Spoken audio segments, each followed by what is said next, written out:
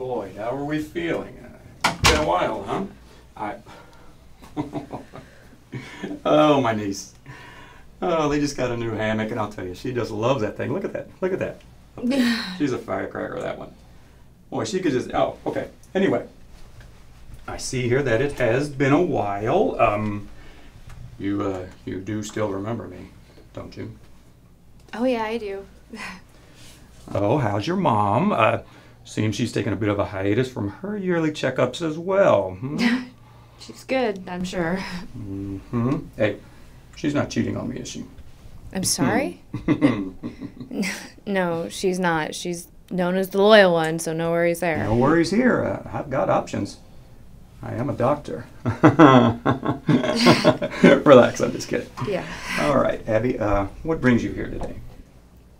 Um, well, I've been having trouble relaxing uh, a lot lately, and it's just it seems to have gotten worse, and I have anxiety for like no reason whatsoever, and um, it happens mostly at work and at 7 p.m. Okay, well, uh, what happens at 7 p.m. that causes you to feel this way?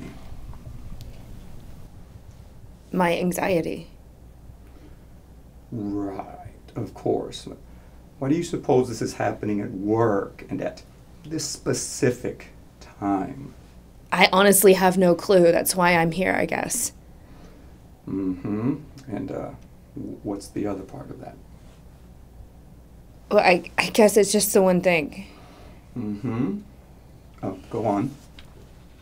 Well, it's kind of hard to explain. It's just like I'm just waiting for this slightest sensation to occur, and then it's like I'm overwhelmed, and well, I feel let me like go I'm. ahead and look in your mouth. All right, let me see. Uh-huh.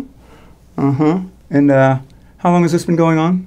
Uh, Mm-hmm. haha. Uh, what was that? Since I think last summer. Uh-huh. Okay. Uh-huh. What we're going to look at. All right. Abby, I am going to say that you are suffering from some underlying depression. Okay. I don't really feel depressed, just mostly anxious, you know. Right. Well, that's why I said underlying. It's not something you would immediately identify. But you did. I did what? You identified the condition. Okay, now I'm confused. Well, maybe I just don't understand what underlying means. It's simple. There is a root cause potentially inducing a depressive state, such as uh, oh, a financial stressor or a serious medical condition, hey, living in a war zone, uh, loss of a family member, uh, hey, pets included.